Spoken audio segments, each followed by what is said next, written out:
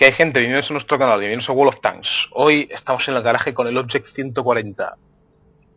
Un tanque tier 10 eh, medio soviético, uno de los tres tanques tier 10 medio soviéticos.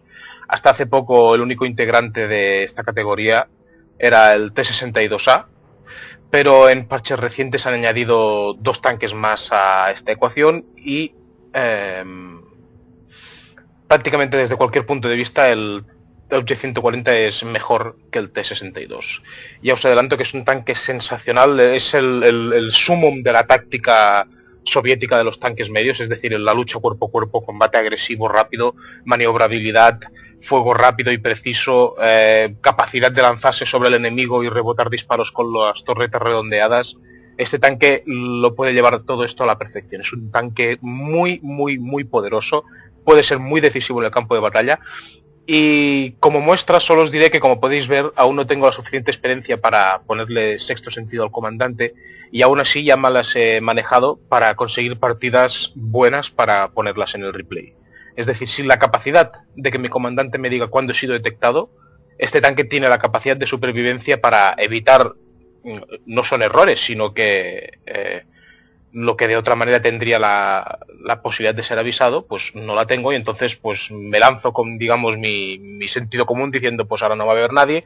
Quizás sí que me esté viendo alguien, pero la velocidad de este tanque, la forma en la que tiene la armadura y lo resistente que es la torreta, permite amortiguar esos errores y podernos salirnos con la nuestra. Es un tanque muy divertido de utilizar si os gustan los tanques medios soviéticos porque hace todo lo que hacen los tanques medios soviéticos mejor y realmente es un, no he probado los otros tanques tier 10, pero estoy seguro que este es uno de los mejores, segurísimo.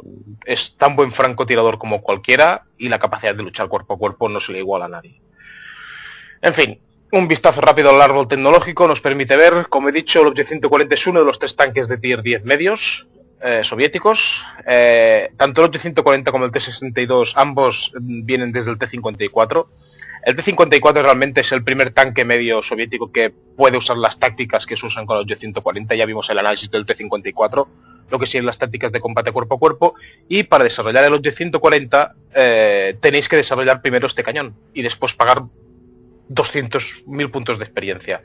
Es muy caro de desarrollar tanto los dos cañones como los dos tanques, así que en el T-54 tendréis que haber decidido muy bien qué tanque vais a escoger. Yo os aseguro que entre estos dos tanques, a pesar de que el T-62 es quizá un poco más bonito, el 840 es el mejor. Es el mejor por unas circunstancias que luego analizaremos. El análisis del tanque en sí, el desarrollo, no tiene ningún secreto porque es un tanque nivel 10 ya desarrollado como élite, así que no hay módulos que desarrollar. Las estadísticas son todas bastante...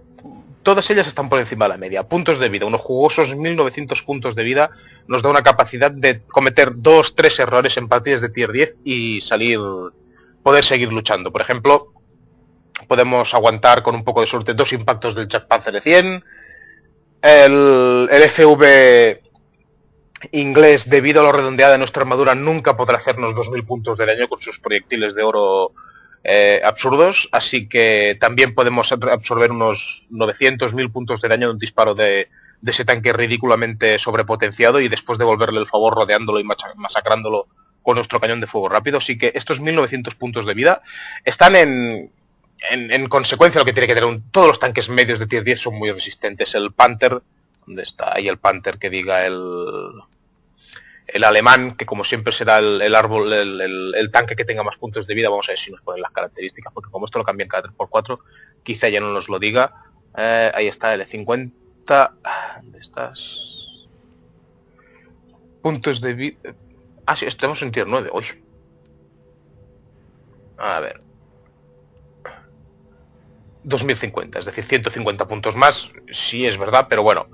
1900, por ejemplo, si lo comparamos con tanques más frágiles como el francés, los franceses obviamente es justo lo contrario, los alemanes son los más frágiles de todos. El Bachat, 1800. 1800, 1900 el ruso, 2000 el alemán, en la media todos son tanques muy resistentes, incluso el Bachat puede recibir un castigo y seguir luchando con su autocargador, así que 1900, fantástico. Eh, tonelaje, 36,45 toneladas la, como la configuración que llevo yo, que es la más agresiva, motor de 590 caballos, resultado un tanque muy muy rápido. No es el más rápido de todos, porque el Batchat es el mejor en ese aspecto, no tiene prácticamente ninguna otra calidad que le redima, así que 55 km por hora que se pueden alcanzar en llano sin problemas. Tarda un poco más de acelerar que el, el americano, pero desde luego más, más, más ágil que el, que el alemán. O sea que, una vez más, por encima de la media. Peor que los franceses, mejor que los americanos y los alemanes en lo que es velocidad punta. Eh, maniobrabilidad 54 grados, sensacional también, perfecto, nada que decir, perfecto para rodear cualquier tipo de tanque enemigo, mantener la torreta que gira a 40 grados por segundo también sin problemas para rodear al enemigo. Mm, son cualidades perfectas. La velocidad punta. Quizá le falta algo de aceleración, como digo, pero la velocidad punta. La rotación del chasis y el giro de torreta, además giramos el chasis casi sin perder velocidad. Este tanque es un luchador cuerpo a cuerpo de primera categoría. Muy, muy, muy correcto. Em, equipamiento, tanque de tier 10, radio algo por debajo del resto, pero bueno, 730 metros da de sobra para comunicarnos con cualquier tanque para saber las posiciones del ejército enemigo. 400 metros de alcance de visión, bueno, obviamente podrían ser los 450 que, que tienen los Patton americanos, pero em, realmente 400 metros nos da para controlar el campo de batalla casi desde cualquier punto en camuflaje. Nuestro tanque tiene un factor de camuflaje muy bueno, mejor que los americanos, porque los, el americano es enorme, desde y que el alemán lo mismo.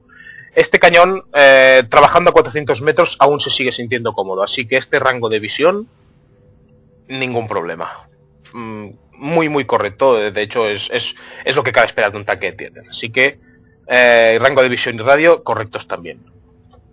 La armadura. La armadura es muy interesante con muchas, muchos módulos diferentes de, blindaje. Vamos a sacar el Viewer porque vale la pena estudiarla a fondo, ya que es realmente la, la razón por la Ah, otra cosa. Bueno, ya lo diré después en el momento. Eh, como digo, la, armadura es la razón por la que este tanque es algo superior al ya de por sí soberbio T-62A. Bueno, pues aquí tenemos el modelo del T-62 en el Tanviewer. Mm, podéis ver la cantidad de diferentes colores de armadura que hay en todo el tanque. Diferentes colores de rojo hasta el naranja en la torreta, las cúpulas. Hay muchísimos, fijaos la, ristra de blindajes diferentes que tiene el tanque.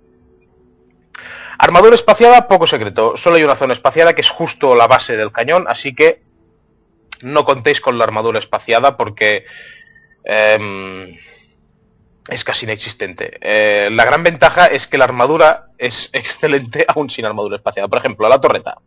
La principal zona de impacto de la torreta cuando nos disparan en plano es esta zona de aquí.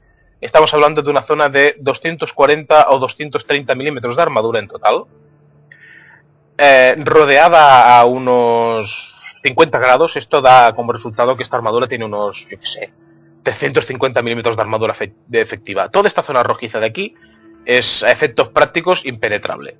Toda esta zona de aquí, este, digamos, este semicírculo aquí, la parte frontal de la torreta, es impenetrable.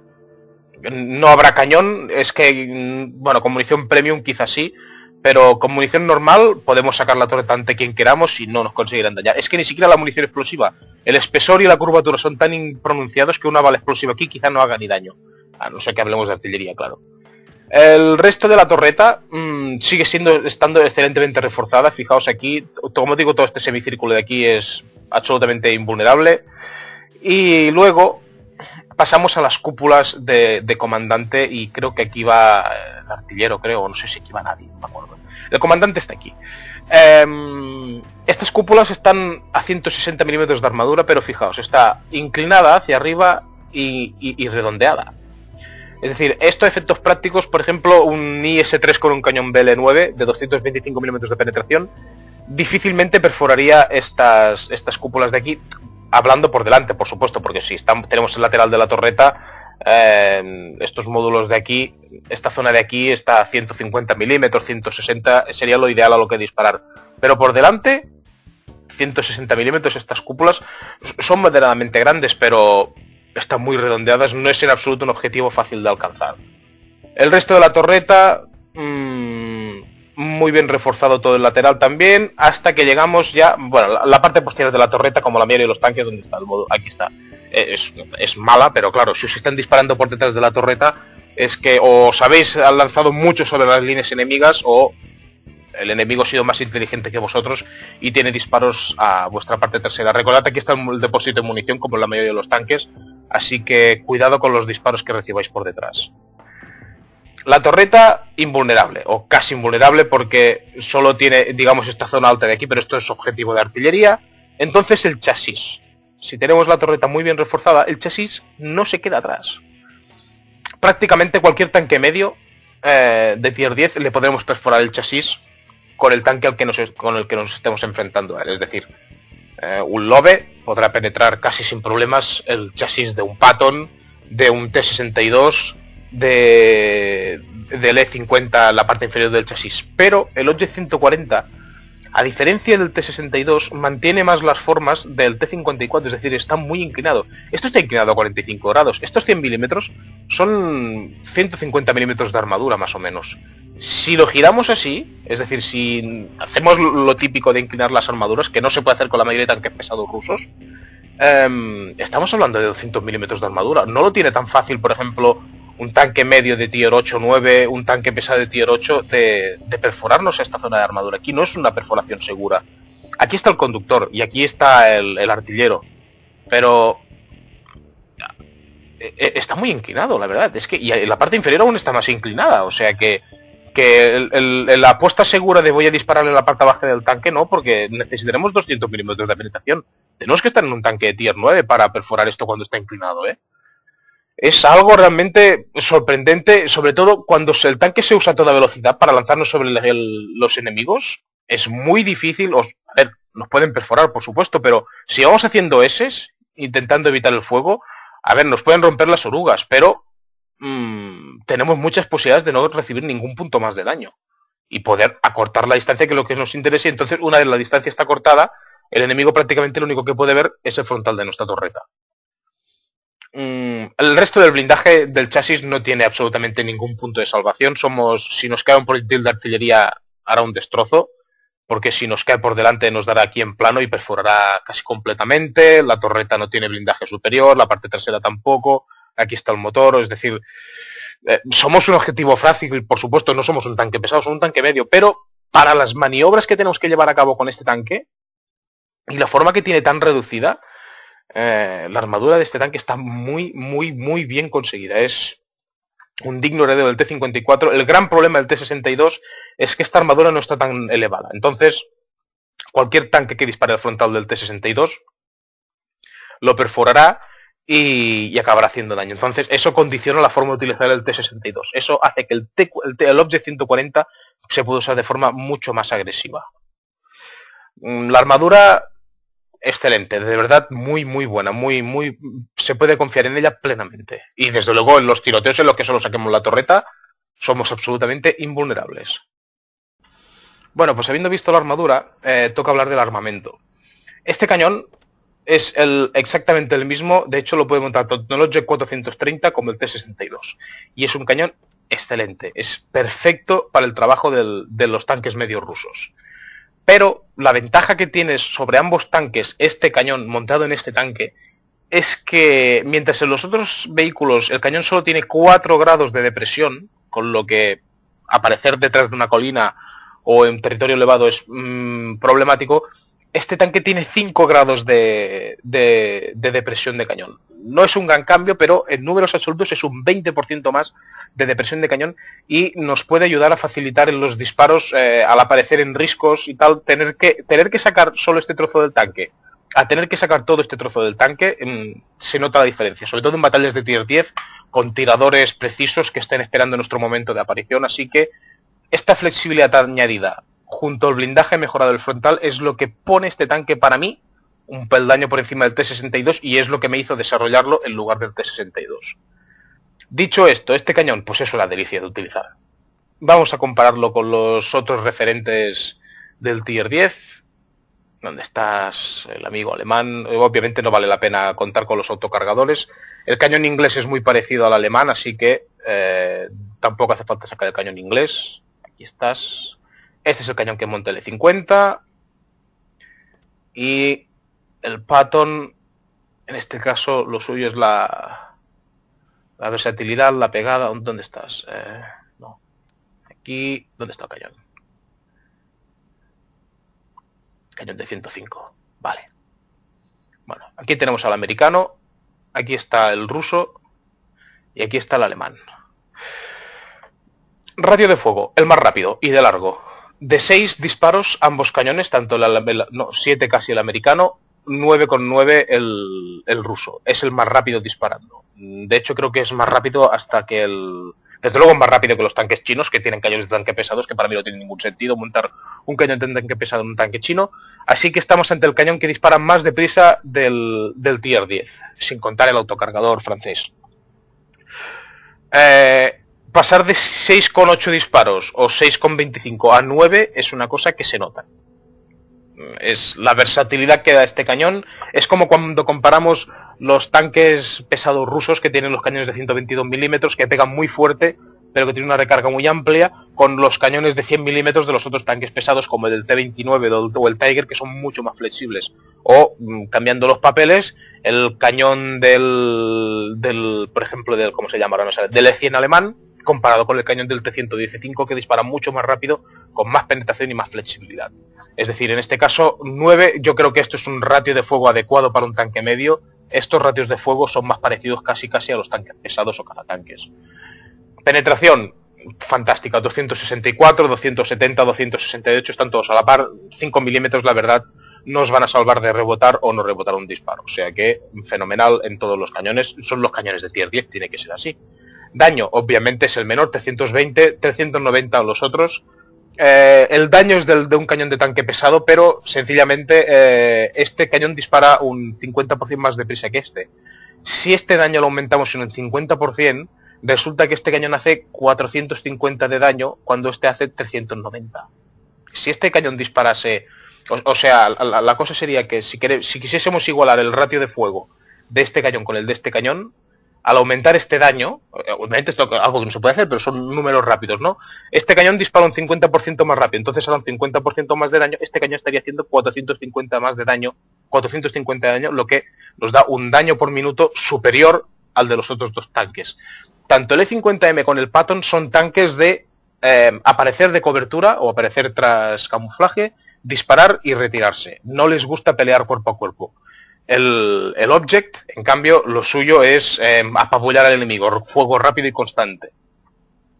Precisión, 0.36 eh, el americano, en este caso el peor de todos, igual que el, que el anterior Patton. Son tanques que se me hacen muy incómodos de utilizar. 0.35 el ruso, fantástico para un tanque ruso, desde luego, muy bien. El alemán sabemos que va a ser el mejor, 0.3 nada que decir, aquí es un franco. Por eso, en este caso yo creo que el cañón del, tanque alemán se, ajusta mejor a su funcionamiento de aparecer, disparar y esconderse, que no el, americano. El americano cae un poco en medio y no, no le cabe en el sentido, pero a su manera el cañón del tanque alemán puede funcionar, pero el cañón del tanque ruso 0.35 con este ratio de fuego, madre mía, de sobras, fenomenal. Eh, cierre de la retícula, 2 segundos, 2 con 1, 2 con 1, excelente los todos. Eh, excelente todos los cañones. Em, resultado, este cañón es fantástico, como he dicho, para el combate cuerpo a cuerpo. Sumado al blindaje muy inclinado, al, al reducido tamaño del tanque, porque si comparamos esto el Object, el, último de los Patton aún es más grande, pero... Aquí tenemos al, al Patton Tier 9. El, el, otro aún es más grande, de hecho es más grande que un tanque pesado como el 115, pero fijaos el tamaño del Patton Fijaos el frontal con las enormes zonas de impacto. Mírate el object.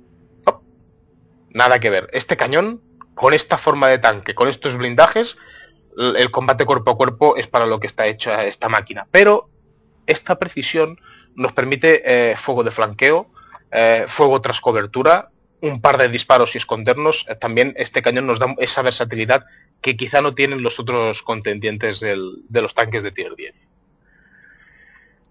En cuanto a la tripulación, pues como he dicho, realmente no he llegado ni a sacar el sexto sentido y he sacado tantas partidas buenas que ya me he decidido hacer el análisis. Este tanque es eh, sensacional, así que eh, no me lo puedo imaginar con hermanos de armas y sexto sentido. Tiene que ser buenísimo.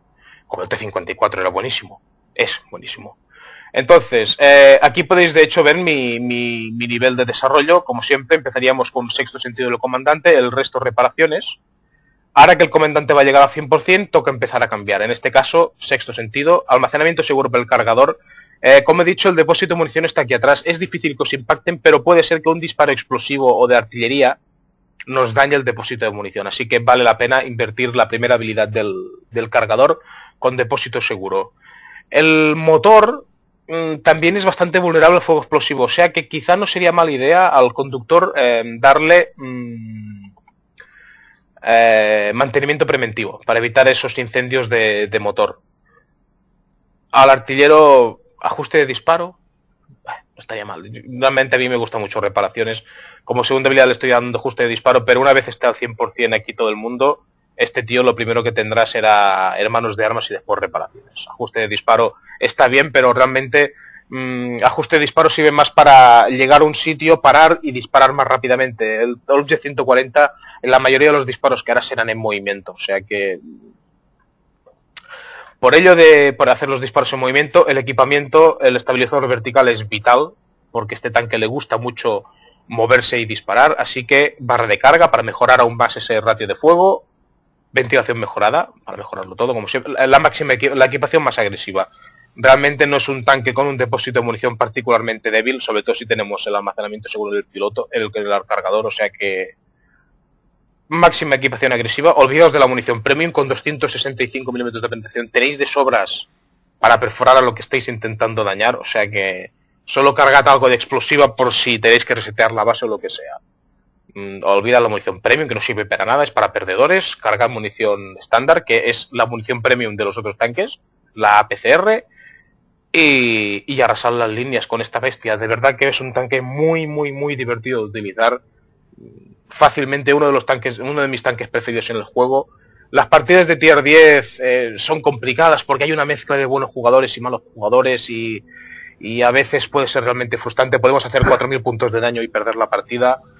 Pero mm, lo que es seguro es que en este tanque fácilmente en cada partida superaréis los 2.000 puntos de daño. O sea que disfrutarlo porque realmente esforzaos para conseguirlo porque realmente vale la pena. Vamos a echar un vistazo a los replays a ver si podemos ver cómo, cómo trabaja esta, este animal en combate cuerpo a cuerpo.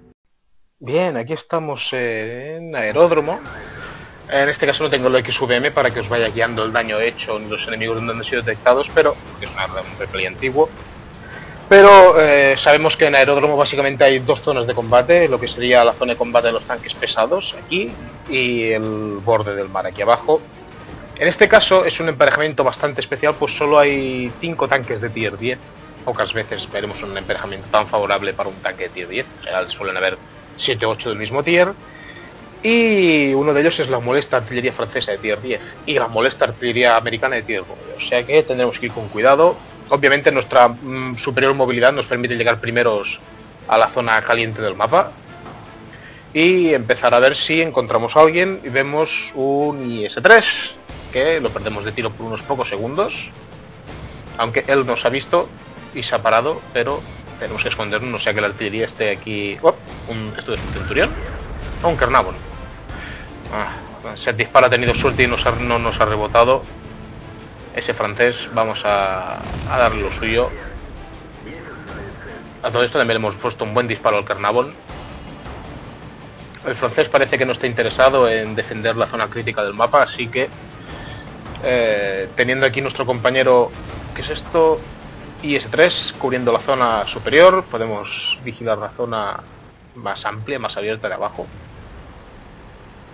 Y de momento no vemos a nadie más que el Kernavon que está defendiendo la esquina solo. Bien, ese Kernavon básicamente le podemos atacar desde dos lados ahora mismo. Le podemos atacar desde aquí abajo o desde aquí arriba.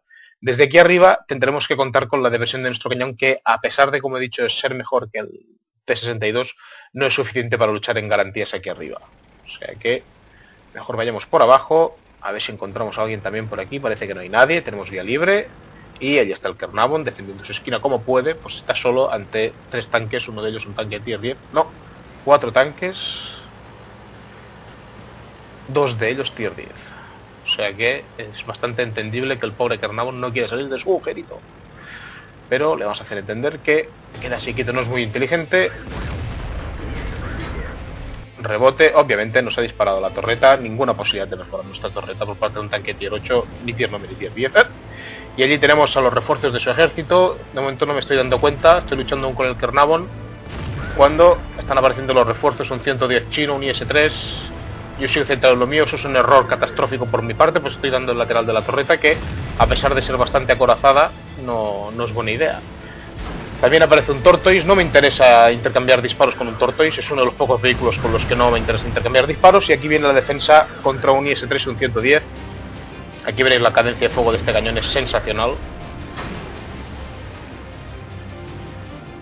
Vamos a seguir machacando el IS-3. ¿Qué ha pasado aquí?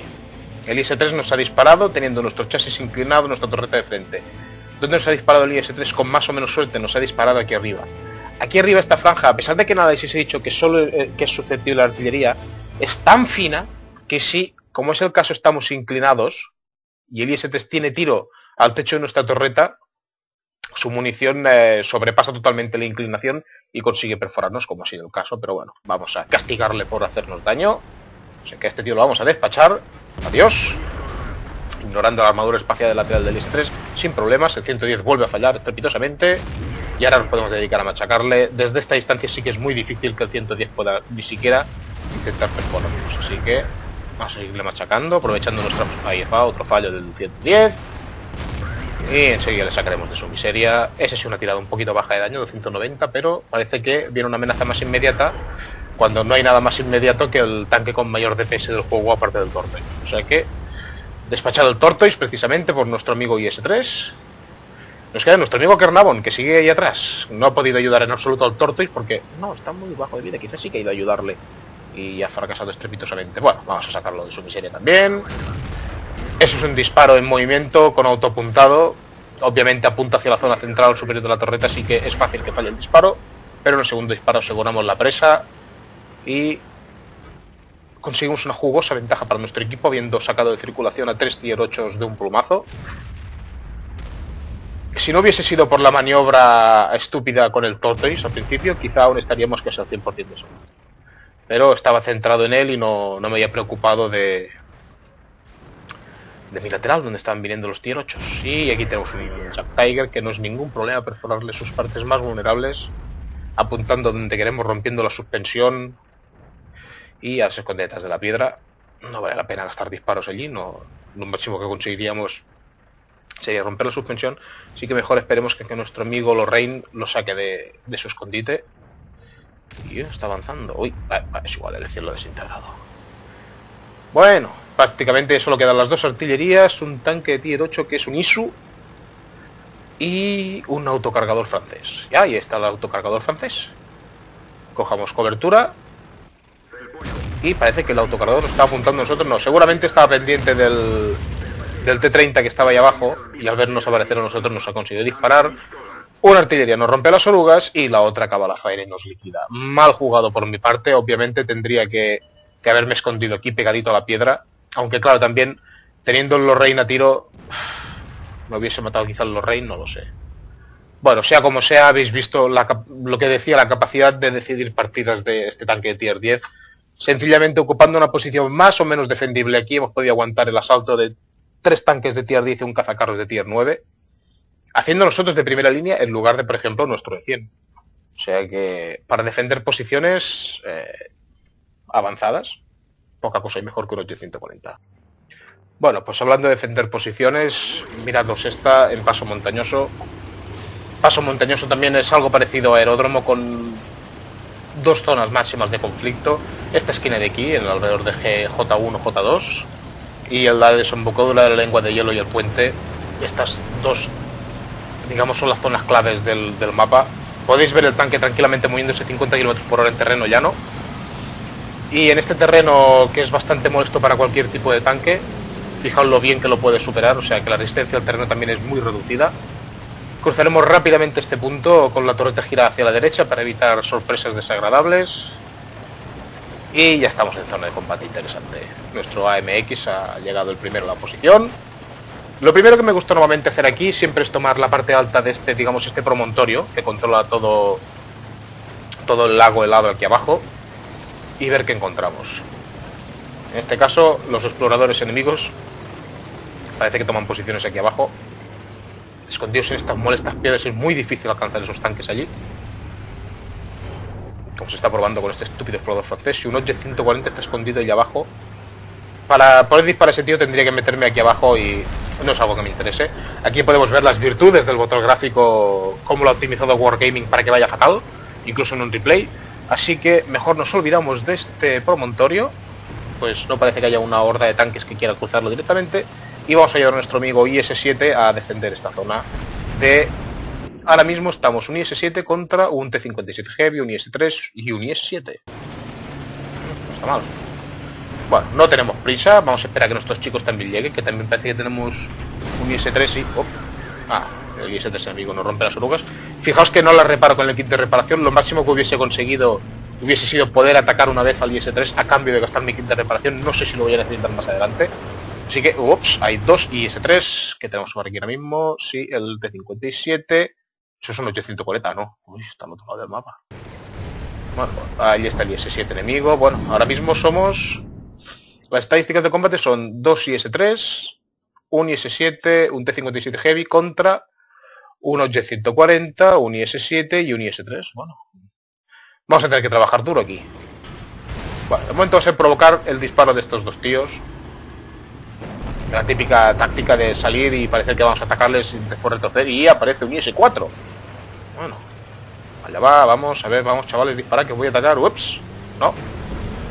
Venga, ahí va, perfecto. No podía salir mejor. Ahora tenemos tiempo de poner dos disparos en estos tíos. Obviamente vale la pena concentrar el fuego. Dejamos ese tío a menos del 60% de salud. Ahora ya están recargados, obviamente. Nuestro amigo IS-7 nos pide que retrocedamos. Ejecutamos uno de los IS-3. Y tenemos ahora mismo un IS-7 dañado, un IS-3, el IS-4, el T-57. ¿Qué estoy haciendo ahora? Bueno, ahora mismo básicamente tendría dos opciones a seguir. La una, una opción, la quizá la más evidente, sería quedarnos aquí e intentar defendernos de estos dos tíos. No sé cómo saldría. La otra es apoyar con el IS-7, apretar para salir, huir por aquí, que estos dos tíos tengan que recorrer todo esto de aquí, mientras nosotros nos podemos esconder al otro lado y siempre enfrentándonos a dos tanques a la vez. Vamos a ver cómo sale. Tenemos al T-57 que no tiene armadura efectos prácticos, excepto el morro. Así que rápidamente pagamos el precio de un disparo del, del IS-4. El IS-7 me bloquea, tengo que salir rápido de aquí. Lo adelantamos totalmente. Lástima que pierde de tiro al T-57, pero me puedo permitir ejecutar un disparo al IS-4. Y el T-57 ya ha tenido todo el mundo, el tiempo del mundo para recargar y se nos está echando encima y ahora me va a castigar. El primer disparo lo rebotamos, disparamos contra, nos dispara la torreta, el segundo nos perfora. Aquí, aquí lo he hecho mal. Aquí lo que tendría que haber hecho habría sido echarme sobre encima de él en línea recta para para poder descargar, para que, como en el primer disparo solo se veis obligado a dispararme la torreta, rebotamos un disparo del IS-3, ejecutamos al T-57 cuando recarga, ignoremos al IS-3, aunque nos pueden matar de un disparo, y hagamos daño a los tanques realmente peligrosos. El IS-7 ha aguantado como un campeón, ha aguantado como un héroe, y ahora este IS-4 sabe muy bien lo que tiene que hacer, se espera que le adelante y dispare sobre mi chasis, me deja seco. A todo esto, el IS-4 está muy dañado, el IS-7 acaba de morir a manos de nuestro T-57 que ha venido en apoyo en el último momento. Así que, eh, básicamente con el sacrificio mío, el del IS-7 ahora mismo, y el del IS-3, hemos neutralizado dos IS-3, un IS-7, un IS-4 y un T-57 Heavy. No está nada mal, hemos hecho 3.000, casi 3.400 puntos de daño, tenemos al T-57, de hecho la artillería acaba de machacar al pobre IS-3 y está siendo rodeado por el T-21, el 121, perdón que diga. Eh, realmente nuestro combate aquí, la estoy, no sé si habéis podido leer el chat, le he dado el enhorabuena al IS-7 por aguantar también. Eh, realmente nuestra defensa aquí, sobre todo el IS-7 y mía, ha sido la clave para ganar este mapa. Tres tanques, nuestros han contenido a seis tanques enemigos y hemos podido alzarnos con la victoria.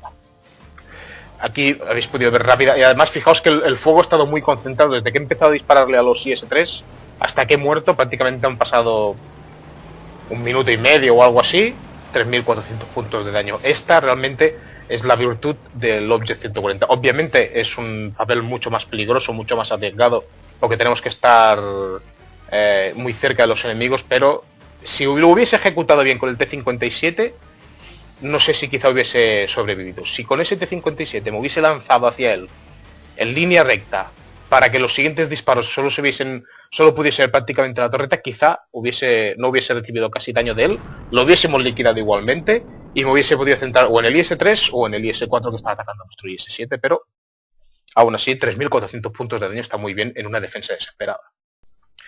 Bueno, habiendo visto dos defensas de posiciones, aquí estamos en Estepas. Aquí veréis también cómo creo yo que se tiene que afrontar a los autocargadores. Y básicamente Estepas es un mapa, como sabéis, mucho más abierto con... Obviamente hay dos, dos zonas de combate múltiple, que sería lo, que serían los alrededores de la base neutral y la trampa de los tanques pesados aquí abajo, pero aquí tienden a formarse dos líneas de tiradores, que, obviamente suelen ocupar los tanques más precisos, es decir, los alemanes, o ahí eso es un buen disparo contra el explorador francés, o los cazacarros, lo que convierte esta zona de aquí en una zona mortal. Casi todo el mundo que se adentre aquí en medio acabará muerto. Y ese explorador...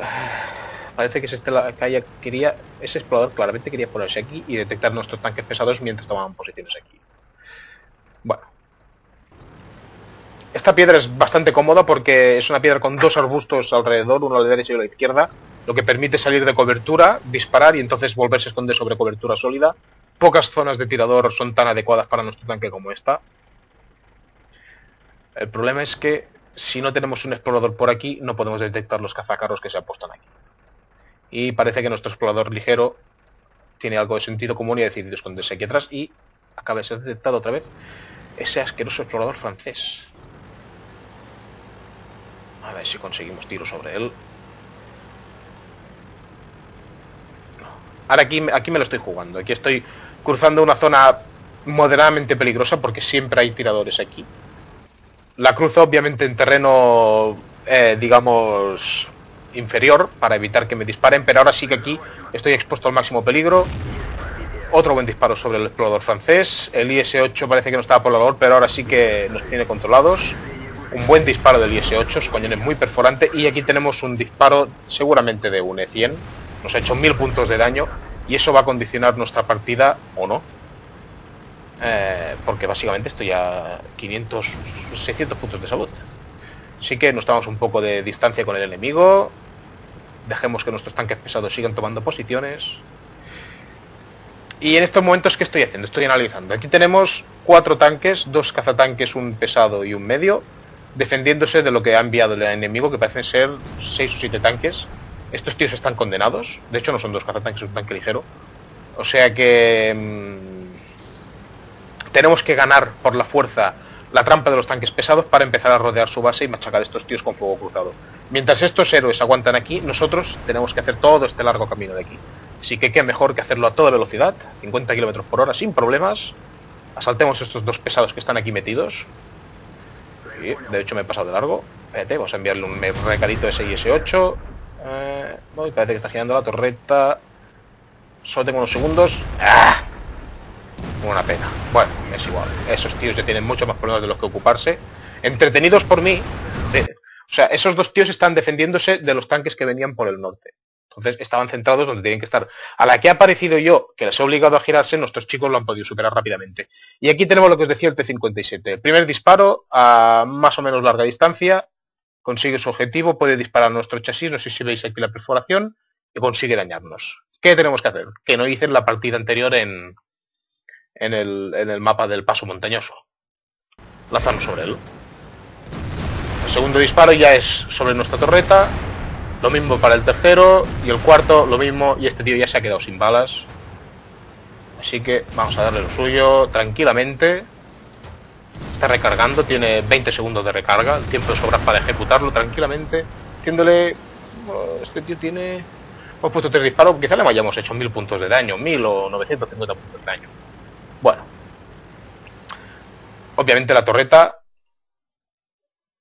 eh, toda rodeada de disparos del autocargador, pero él está muerto y nosotros no.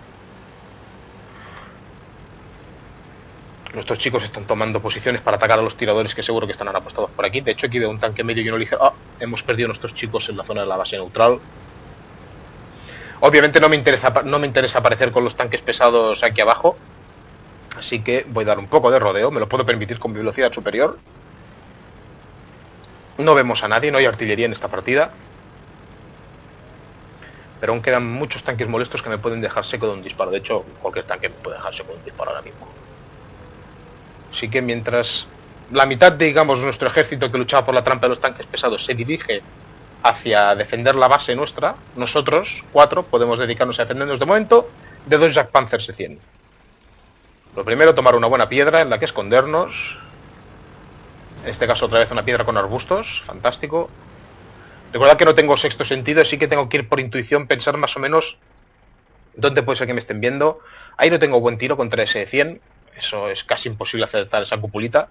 Y aquí, aquí hago un fallo. Bueno, no hago un fallo. Aquí sencillamente este 100, que además está arañado, no como este, me está ofreciendo su parte más vulnerable, sin inclinación y subiendo por una cuesta, o sea que no será fácil de que se retire de allí. En vez de eso, eh, quizá porque estoy detectando una amenaza, me centro en el, en el otro Jack Panzer y fallamos el disparo. Un mal disparo, un mal enemigo, mal criterio. Además a los dos Jack Panzer, no sé si lo podéis ver, están apuntando hacia mí. Así que hasta que no reciban atención de mis compañeros no voy a permitirme salir. Como ahora sí que hago bien, disparo al tanque que está dañado, parte inferior del blindaje. Le podía haber incendiado el motor, no ha sido el caso. Es igual, se esconden ya tras cobertura, ya me puedo olvidar de esos Jack Panzers de momento. Parece ser que por ahí al otro lado se ha detectado un T-57. Ahí está. Ganemos altura para poderle disparar. Y ese es otro mal disparo. He apuntado al chasis en vez de apuntar la torreta, que no tiene blindaje.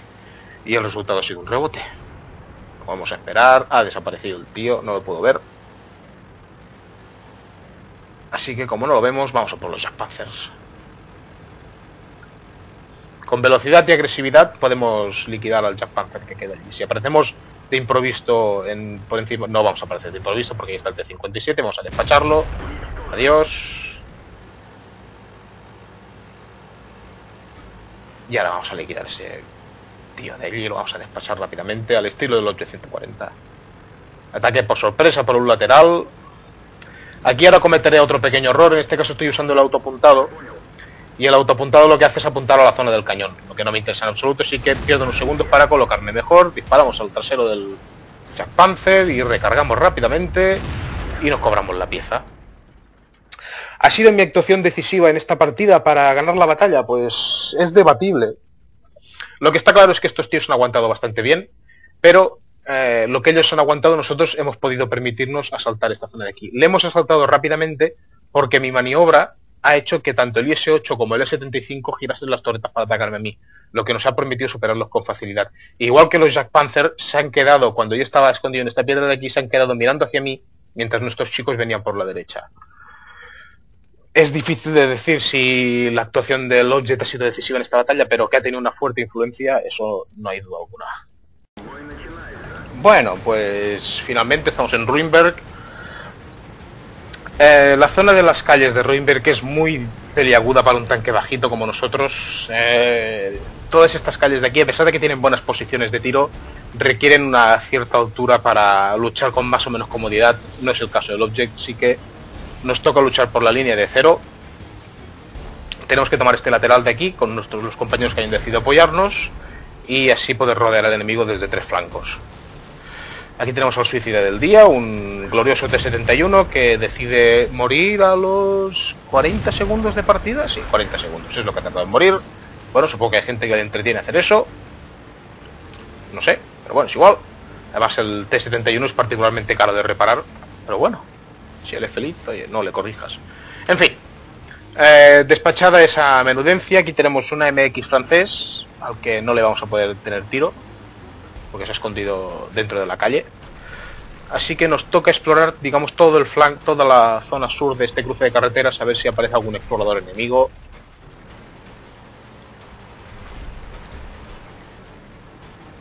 No hay detecciones, parece que se lo están tomando con calma. Yo tampoco me lo quiero tomar muy agresivo porque realmente el apoyo que tenemos se reduce a un T-57 Heavy y un E3. Dos tanques poderosos, pero dos tanques al fin y al cabo. Así que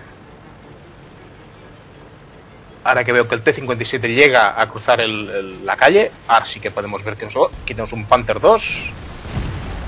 Fallamos el primer disparo. Ah, no, no, había disparado. Ahora sí, un disparo con autoobjetivo, le perforamos sin problemas y tenemos que retirarnos un disparo del, Panther y el E50 que debe estar por aquí abajo nos, nos rompe nos daña las orugas y nada más. Bueno, un buen, un buen cambio. Momento ya tenemos detectado al primer enemigo. Se había detectado también por ahí un cazatanques y la, nuestra artillería acaba de morir. ¡Ah!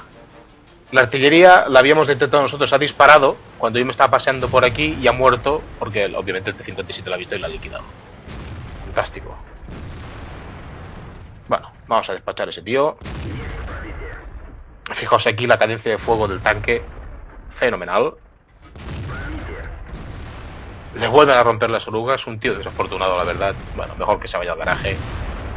Venga. Siguiente, el cazacarros que estaba en esta zona de aquí. Oh, ya está muerto. Ah, pues también está muerto ya. Fijaos la maniobra que hemos hecho de cruzar por aquí, obviamente ha hecho falta el apoyo de nuestro ejército. Si no hubiese estado por la labor, sobre todo el T-57, no hubiésemos conseguido nada. Pero, estando por la labor, ha caído el Panther, el cazatanques y la artillería que rondaba por aquí. Y aquí tenemos al E-50 que me ha dañado antes las orugas. Fijaos lo que una maniobra, ese ha sido un disparo desafortunado, ha ido justo en el cañón del tanque. Fijaos lo que ha sido una maniobra más o menos arriesgada en la que hemos recibido un disparo del Panther nos ha valido para liquidar a dos tanques de tier 8 y la artillería de tier 10. Y ganar además el, cruce de carreteras. Ahora aquí básicamente lo que estoy haciendo es avisar... Aquí seguramente no era consciente aún de que la artillería estaba muerta.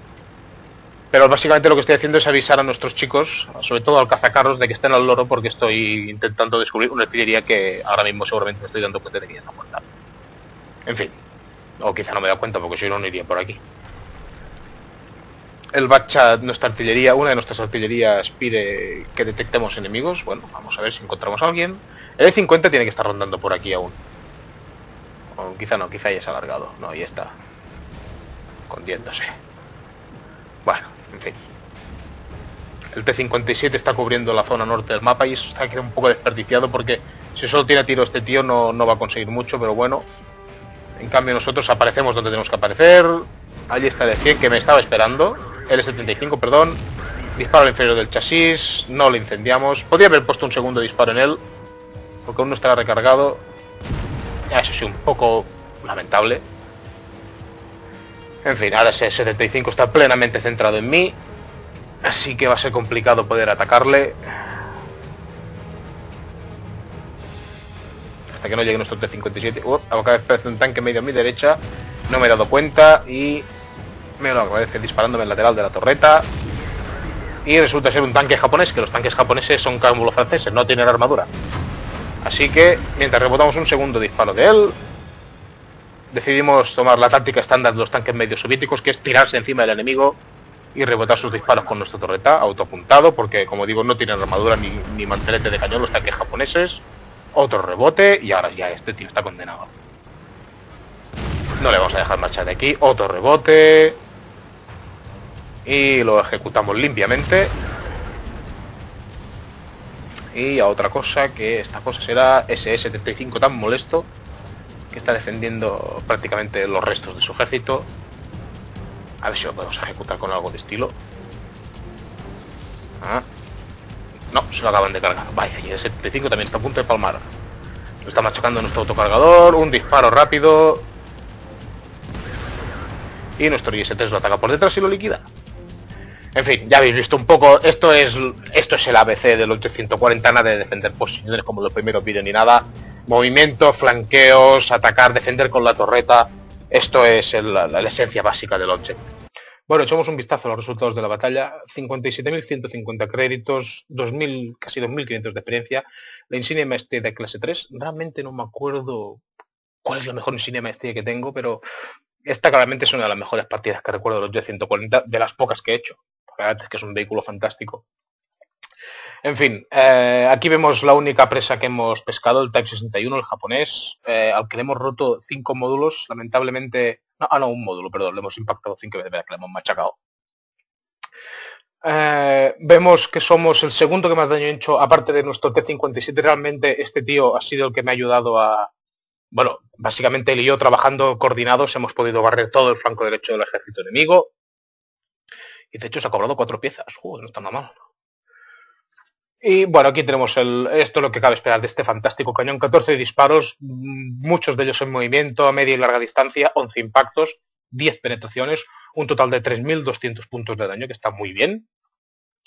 Y aquí está el 2.000 puntos de daño reflejado, que no está nada mal. 2.000 puntos es más de la salud que tiene nuestro propio tanque.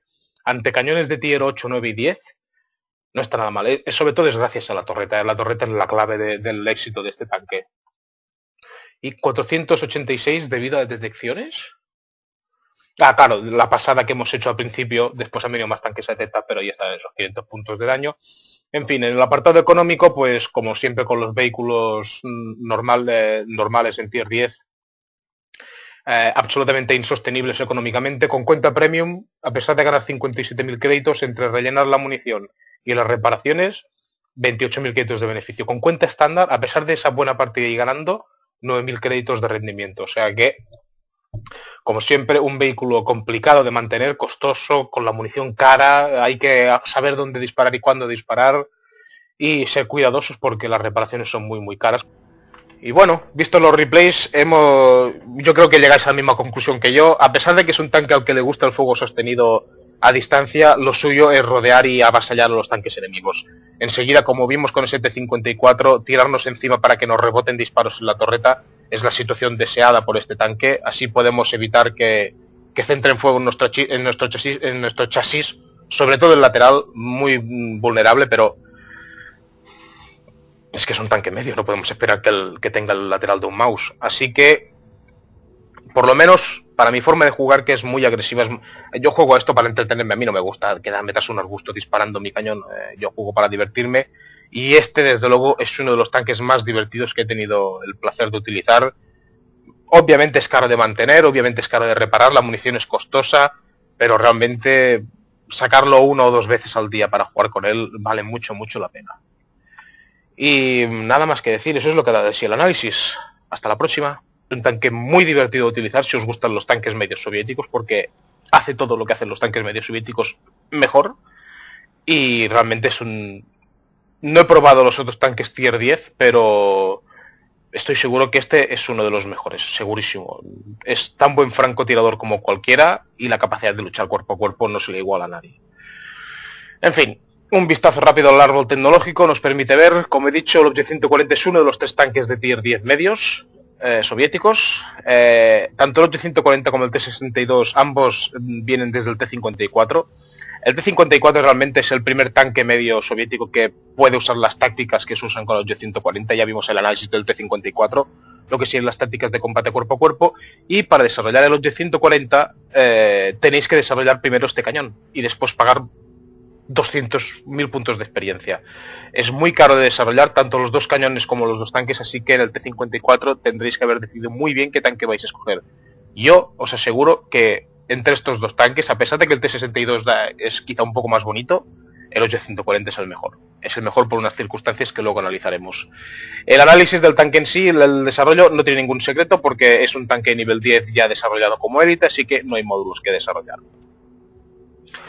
Las estadísticas son todas bastante... Todas ellas están por encima de la media. Puntos de vida. Unos jugosos 1900 puntos de vida nos da una capacidad de cometer dos, tres errores en partidas de tier 10 y salir... Poder seguir luchando. Por ejemplo, podemos aguantar con un poco de suerte dos impactos del Jet Panzer de 100.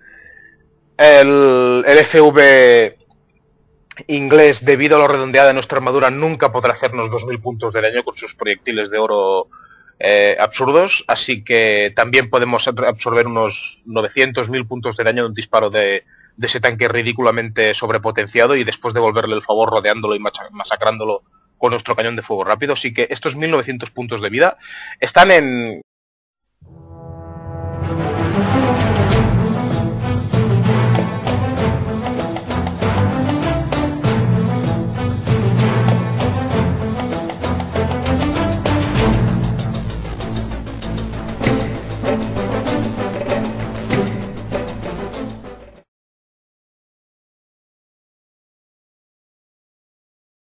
hay gente, bienvenidos a nuestro canal, bienvenidos a Wall of Tanks. Hoy estamos en el garaje con el Object 140, un tanque Tier 10 eh, medio soviético, uno de los tres tanques Tier 10 medio soviéticos. Hasta hace poco el único integrante de esta categoría era el T-62A, pero en parches recientes han añadido dos tanques más a esta ecuación y em, prácticamente desde cualquier punto de vista el Object 140 es mejor que el T-62. Ya os adelanto que es un tanque sensacional, es el, el, sumum de la táctica soviética de los tanques medios, es decir, en la lucha cuerpo a cuerpo, combate agresivo, rápido, maniobrabilidad, fuego rápido y preciso, eh, capacidad de lanzarse sobre el enemigo y rebotar disparos con las torretas redondeadas. Este tanque lo puede llevar todo esto a la perfección. Es un tanque muy, muy, muy poderoso. Puede ser muy decisivo en el campo de batalla. Y como muestra solo os diré que como podéis ver aún no tengo la suficiente experiencia para ponerle sexto sentido al comandante y aún así ya me las he manejado para conseguir partidas buenas para ponerlas en el replay. Es decir, sin la capacidad de que mi comandante me diga cuándo he sido detectado, este tanque tiene la capacidad de supervivencia para evitar, mm, no son errores, sino que eh, lo que de otra manera tendría la, posibilidad de ser avisado, pues no la tengo y entonces pues me lanzo con, digamos, mi, mi, sentido común diciendo pues ahora no va a haber nadie. Quizás sí que me esté viendo alguien, pero la velocidad de este tanque, la forma en la que tiene la armadura y lo resistente que es la torreta, permite su, amortiguar esos errores y podernos salirnos con la nuestra. Eso también da de sobra para comunicarnos con cualquier tanque para saber las posiciones del ejército enemigo. 400 metros de alcance de visión. Bueno, obviamente podrían ser los 450 que, que tienen los Patton americanos, pero em, realmente 400 metros nos da para controlar el campo de batalla casi desde cualquier punto en camuflaje. Nuestro tanque tiene un factor de camuflaje muy bueno mejor que los americanos, porque los, el americano es enorme, desde que el alemán lo mismo. Este cañón, eh, trabajando a 400 metros, aún se sigue sintiendo cómodo, así que este rango de visión, ningún problema. Mm, muy, muy correcto, de hecho es, es, lo que cabe esperar de un tanque de Así que, eh, rango de visión y radio, correctos también.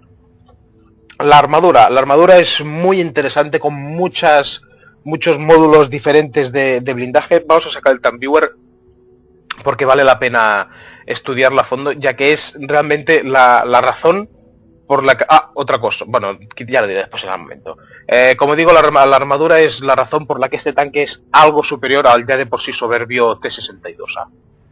Bueno, pues aquí tenemos el modelo del T-62 en el TanViewer. Mm, podéis ver la cantidad de diferentes colores de armadura que hay en todo el tanque. Diferentes colores de rojo hasta el naranja en la torreta, las cúpulas, hay muchísimos, fijaos la, ristra de, blindajes diferentes que tiene el tanque. Armadura espaciada, poco secreto. Solo hay una zona espaciada que es justo la base del cañón, así que no contéis con la armadura espaciada porque em, es casi inexistente. Eh, la gran ventaja es que la armadura es excelente aún sin armadura espaciada. Por ejemplo, la torreta. La principal zona de impacto de la torreta cuando nos disparan en plano es esta zona de aquí. Estamos hablando de una zona de 240 o 230 milímetros de armadura en total. Eh, rodeada a unos 50 grados, esto da como resultado que esta armadura tiene unos, yo qué sé, 350 milímetros de armadura de efectiva. Toda esta zona rojiza de aquí es a efectos prácticos impenetrable. Toda esta zona de aquí, este, digamos, este semicírculo aquí, la parte frontal de la torreta, es impenetrable no habrá cañón, es que, bueno, con munición premium quizás sí, pero con munición normal podemos sacar la torreta ante quien queramos y no nos conseguirán dañar. Es que ni siquiera la munición explosiva, el espesor y la curvatura son tan pronunciados que una bala explosiva aquí quizá no haga ni daño.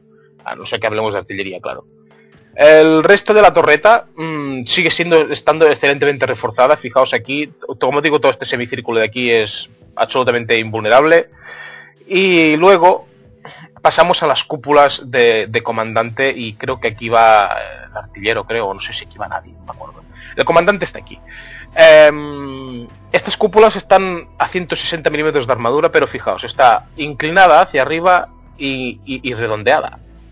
Es decir, estos efectos prácticos, por ejemplo, un IS-3 con un cañón BL-9 de 225 milímetros de penetración, difícilmente perforaría estas, estas cúpulas de aquí hablando por delante, por supuesto, porque si estamos, tenemos el lateral de la torreta, eh, estos módulos de aquí, esta zona de aquí está a 150 milímetros, 160, sería lo ideal a lo que disparar.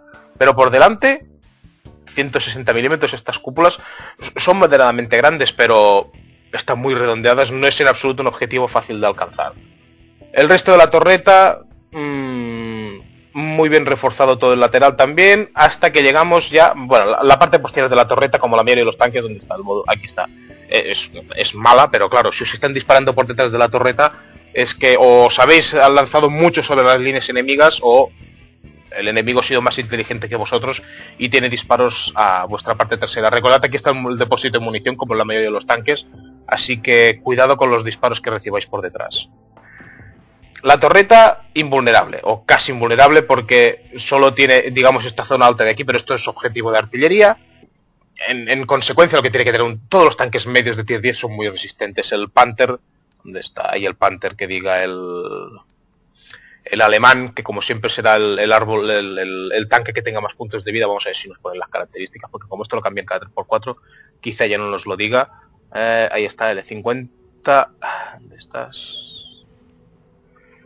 Puntos de vida... Ah, sí, estamos en tier 9 hoy. A ver. 2050, es decir, 150 puntos más, sí es verdad, pero bueno, 1900, por ejemplo, si lo comparamos con tanques más frágiles como el francés, los franceses obviamente es justo lo contrario, los alemanes son los más frágiles de todos.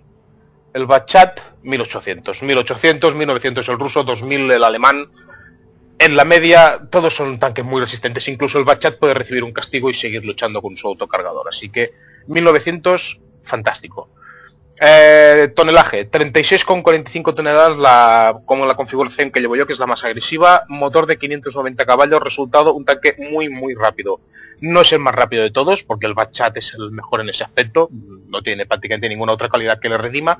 Así que 55 kilómetros por hora que se pueden alcanzar en llano sin problemas. Tarda un poco más de acelerar que el, el Patton americano, pero desde luego más, más, más ágil que el, el alemán. O sea que una vez más por encima de la media. Peor que los franceses, mejor que los americanos y los alemanes en lo que es velocidad punta.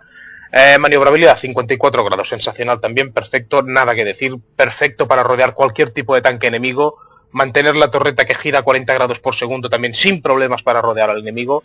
Mm, son cualidades perfectas, la velocidad punta. Quizá le falta algo de aceleración, como digo, pero la velocidad punta, la rotación del chasis y el giro de torreta, además giramos el chasis casi sin perder velocidad, este tanque es un luchador cuerpo a cuerpo de primera categoría. Muy, muy, muy correcto.